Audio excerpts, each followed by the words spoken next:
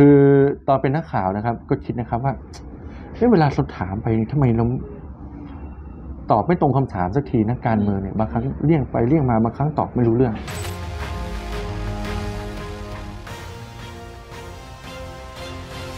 สวัสดีครับ ผมจืดสัญญากรนะครับ ก็เคยเป็นผู้สื่อข่าวสายการเมืองเหมือนกับคุณพี่นี่แหละครับ เป็นมาได้ประมาณ 8-9 ปี ก็ตัดสินใจลาออกจากสายนักข่าว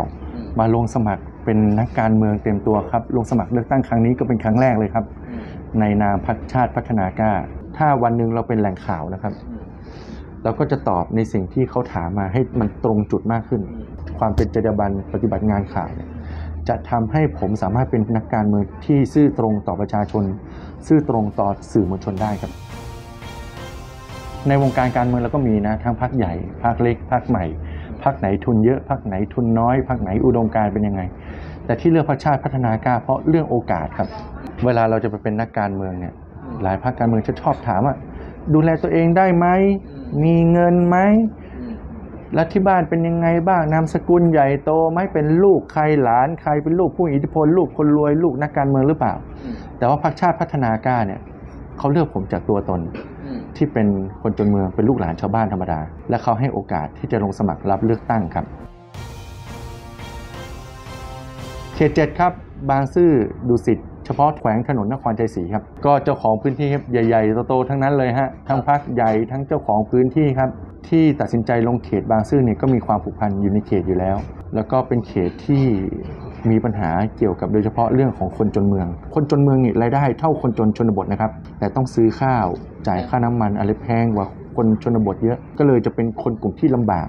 และมีคุณภาพชีวิตที่ไม่ดี และไม่มีโอกาสที่จะหลุดพ้นจากความจน อาการความจนเนี่ยมันเกิดได้กับทุกคน สมมุติว่าเรามีเงินเดือนหมื่นกว่าบาท กับคนที่มีเงินเดือน 5 0,000 หรือแสนหนึ่ง อาจจะมีความจนที่ไม่ต่างกันก็ได้ เพราะความจนมันขึ้นอยู่กับภาระครับคนบางคนยังไม่รู้ตัวเลยครับ คิดว่าตัวเองได้เงินเดือนเยอะแล้ว แล้วคิดว่าตัวเองไม่จน ใช้เงินเดือนชนเดือนไม่มีเก็บ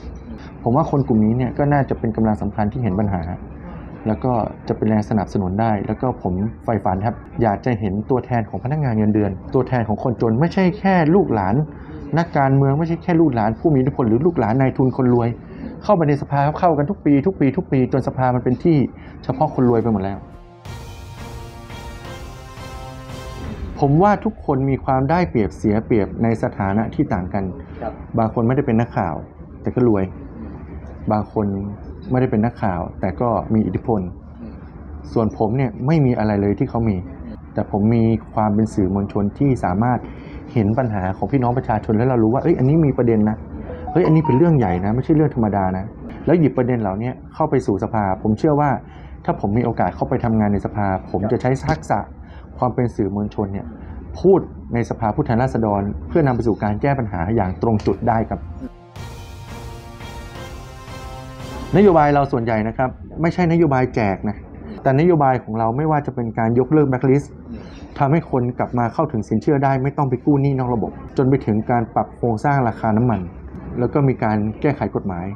ซึ่งสิ่งสิ่งต่างๆ เหล่านี้เราเน้นการแก้ไขกฎหมาย สามารถทำได้ใน 100 วัน โดยเฉพาะถ้าเรามีเสียงมากพอนะครับ เรื่องนี้เนี่ยนักการเมืองทุกพักรู้ครับปัญหาน้ำมัน ปัญหาแก๊สปัญหาไฟฟ้า มันแก้ไม่ยากครับ ความยากมันไม่ยาก แต่ความกล้ามีหรือเปล่า เพราะผมมีวิธีทำให้ค่าของชีพทำให้ราคาพลังงานลดลงได้ทันทีครับ แล้วก็หลายท่านก็น่าจะเห็นนะฮะต้องจืดแสนกรเนี่ยก็จะมีทั้งติดป้ายทำกิจกรรมลงพื้นที่เข้าไปดูปัญหาเกี่ยวกับคุณภาพชีวิตของพี่น้องประชาชน ก็จะเป็นปัญหาที่พวกเราคนจนเมืองเนี่ยต้องเผชิญ ยังไงก็ฝากเลยครับ คนบางซื่อเราต้องเลือกคนที่รู้ปัญหา คนที่เข้าใจความจน คนที่เข้าใจความลำบาก เข้าสู่สภาผู้แทนราษฎร ไปเป็นปากเสียงแทนพวกเราด้วยกันเองครับ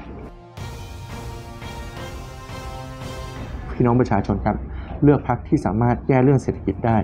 เลือกชาติพัฒนากล้ากาเบอร์14 และสำหรับใครที่อยู่ เขตบางซื่อดุสิตแขวงถนนนครชัยศรีครับ กาเบอร์ 9 ครับ ฝากผมด้วยครับ จืดแสนยากร ลูกหลานคนจนเมือง ลูกหลานชาวบ้าน ไปเป็นปากเสียงแทนพี่น้องประชาชนในสภาผู้แทนราษฎรขอบคุณครับ